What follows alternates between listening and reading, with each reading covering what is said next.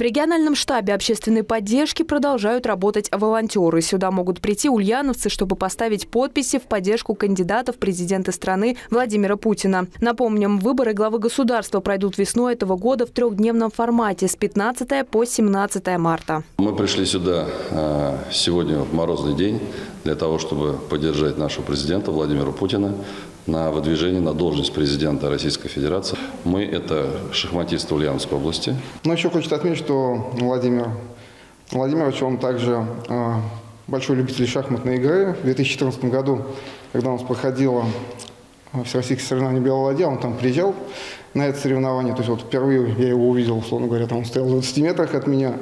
И э, как бы он отмечал тот вклад, который шахматы носят в воспитание молодежи.